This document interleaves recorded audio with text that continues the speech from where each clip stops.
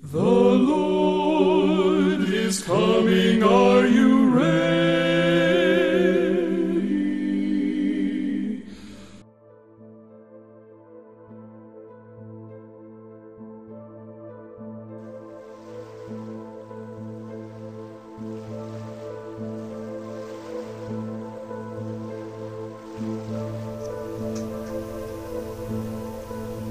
Good afternoon, everyone. This is Tube87. And to those who are keeping the Sabbath today, I hope you're having a happy and blessed Sabbath. Now, I'm going to continue this video from last week's video when I was talking about uh, living in the world. So I just want to touch on a couple of points today in reference to that.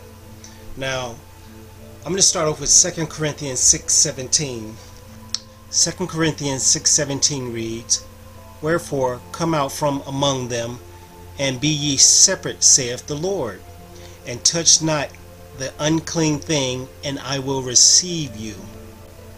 Now, Revelation 18:4 continues on with this scripture and says, Come out of her, my people, that ye may not be partakers of her sin. These two scriptures are talking about the city of Babylon, and you can look at Isaiah 48:20, and it tells you, it, it reads, it says, Go forth of Babylon, um, flee from the Chaldeans. So it's speaking of this city of Babylon, all the um, sin and wickedness and things that were going on there. It says to come out from among that.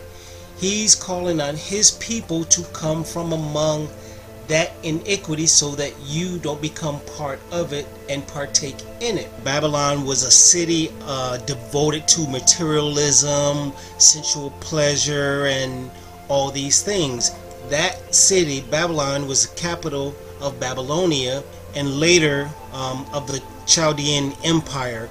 If you live in a city, how often or how much free time just in your mind do you have to devote to the Heavenly Father and heavenly things.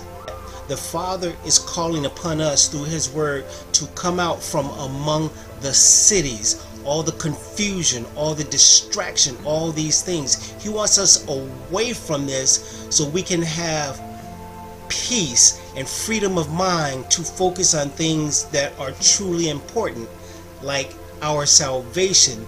He wants us to have that space, that freedom, so that we can focus on Him, heaven, and heavenly things. Now, simply put, 2 Corinthians 6:17 and Revelations 18:4 is saying to come away from the confusion.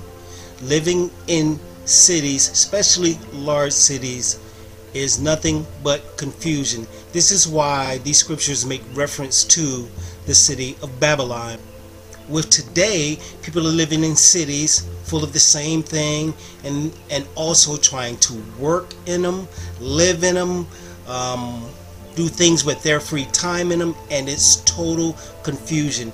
People will actually leave the cities to go on vacation to get away from it just for a few days or a week or what have you. People will actually live in rural areas or country areas and they will commute to cities to work just to work so they can turn right around and get out of them because people understand the confusion and craziness and chaos going on in cities. And this is what scripture was telling us even back then to come out from among that so you could focus on the Father and what His Word is trying to teach us for our salvation's sake. So as to where some of the confusion and distraction and chaos is coming from in our lives. It's where we live. Some people have enough of this chaos and confusion and distraction going on just in their homes. So sometimes the point even gets to be there is to clear out your home. Remove yourself from that confusion the farther you get away from the chaos and, and hustle and bustle of cities, the more peace of mind you have, the more clarity you can have in your mind. The people within the cities are always at a greater risk spiritually and literally. So, with that in mind, remember the Heavenly Father doesn't call on us to be successful, He calls on us to be faithful. This is Tube 7.